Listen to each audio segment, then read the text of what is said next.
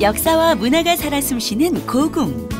서울 곳곳엔 전통 있고 멋진 고궁이 많이 있는데요.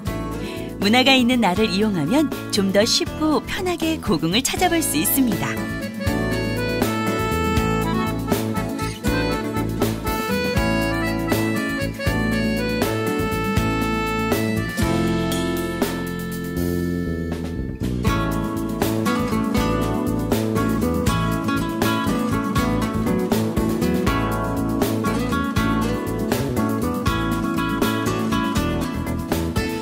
여기는 중화전 건물인데 중화전 안쪽을 보시면 고궁 해설가와 함께 궁궐 곳곳의 숨은 이야기를 듣는 재미도 쏠쏠한데요. 하는데 1월 해와 달이 뭐 역사 논술이나 기행이나 이런 것들로 이제 고학년들이 조금 되는 아이들이 있다 보니까 조금 관심도 많아지기도 하고 자연스럽게 역사에 관해서 설명할 수 있는 기회도 될 수 있는 것 같고요.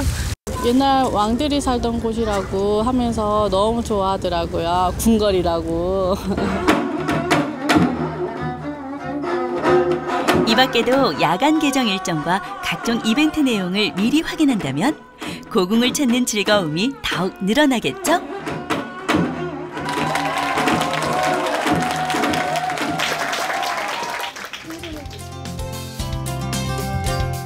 더위와 일상에 지친 몸과 마음을 달래줄 상쾌한 바람 같은 고궁 나들이. 여러분도 고궁 나들이를 통해 힐링의 시간을 가져보는 건 어떠세요?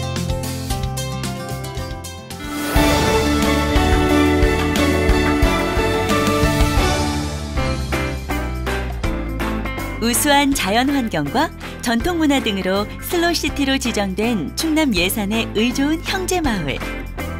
8월 문화가 있는 날을 맞아 특별 공연 준비가 한창입니다.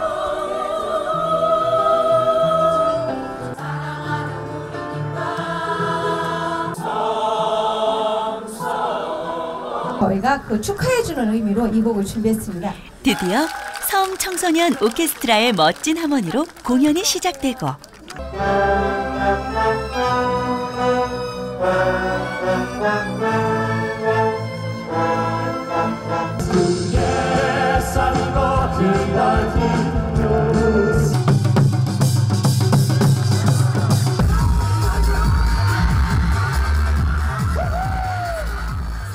가을의 문턱에서 이렇게 아름다운 문화의 거리 행사를 베풀어줘서 매우 감격 스럽고 감명스럽게 보았습니다.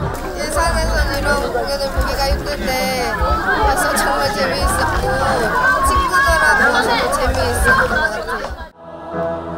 밤이 깊어갈수록 더욱 풍성하게 채워지는 공연들로 시간 가는 줄 모르는 사람들. 오늘만큼은 모두들 아름다운 음악에 푹 빠져 즐거운 한여름의 꿈을 꾸게 되지 않을까요?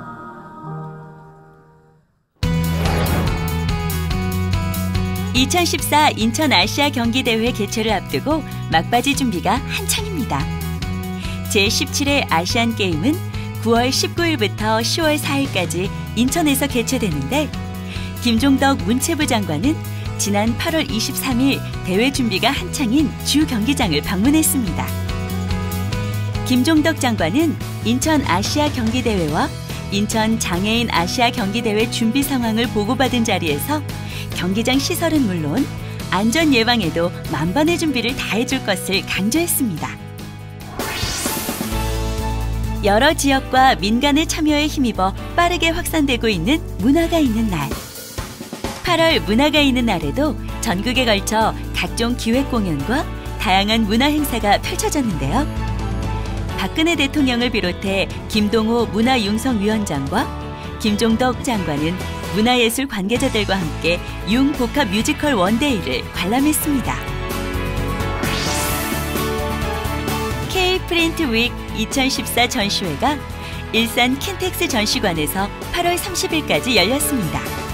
국내 제조업체 94개를 비롯하여 27개국 275개사가 함께한 이번 전시는 국내외 후 가공 관련 장비, 특수 인쇄, 다품종 소량 생산을 가능케 해주는 인쇄 관련 솔루션 등 최신의 인쇄 장비와 인쇄 기술 및 정보를 한눈에 볼 수 있는 행사였습니다.